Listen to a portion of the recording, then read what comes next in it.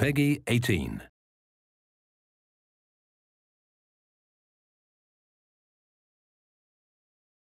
Welcome to our Strider Vocation overview video.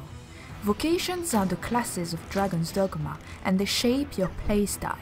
There are 9 vocations that can be unlocked, but today we'll be focusing on 3 of them. Strider, Ranger and Magic Archer.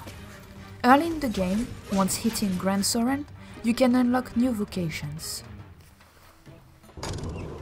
The Strider uses dual daggers and a sharp bow.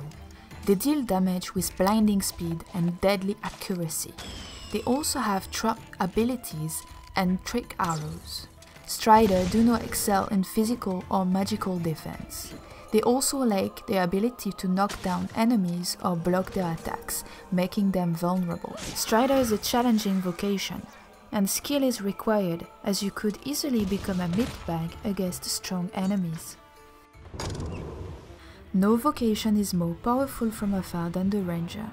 Equipped with a longbow, they deliver punishing arrows from a distance, taking out enemies before they're able to come near. They also wield dual daggers, making them capable of facing multiple opponents up close. But they can be weaker in melee combat. Nevertheless, rangers are excellent from afar. It's an extremely satisfying vocation to play. Equipped with magic bows, the magic archer is a vocation that weaves sorcery into every shot. They also cast sorcery into their daggers, making them excellent both up close and from afar. They have a higher level of magic defense than most other vocations. However, they are very vulnerable to being silenced. Magic archers are masters in sorcery and of the magic bow. They offer a very varied playstyle and are a rather unique vocation.